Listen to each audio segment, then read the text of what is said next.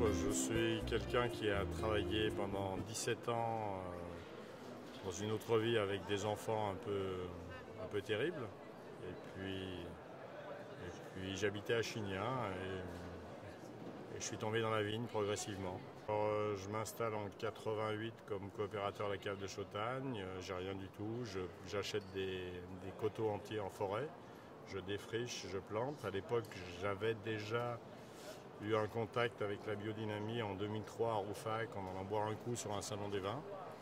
Et à ce moment-là, euh, il y a un petit déclic qui se passe dans ma tête, mais je ne suis pas vigneron à cette époque. Et quand on s'installe à partir de rien, on ne vous installe pas en bio d'habitude. Euh, même encore à l'heure d'aujourd'hui, c'est un peu compliqué. Et donc je fais de la lutte intégrée pendant une dizaine d'années. Le peu de chimie que je mets dans mes vignes finit par me tuer physiquement.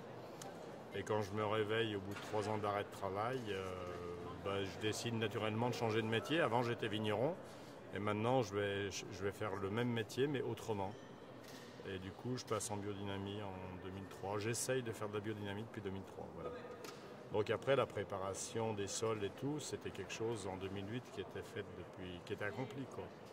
Et si vous voulez, le virage après il se passe euh, sans même y penser. On essaye de jamais sulfiter jusqu'à la mise en bouteille. Et après, à la mise en bouteille, c'est les conditions de dégustation sur un ou deux jours qui vont déterminer si on en met ou pas. Et c'est, moi, quand on en met, on est au maximum à 15 mg. Donc on, est très en dessous de, des normes autorisées, même en vin naturel. Moi, j'aime le jus de raisin qui reste longtemps en bouche. Et on l'a plus avec les vins nature qu'avec les autres vins. Et on a surtout des différences énormes suivant les millésimes.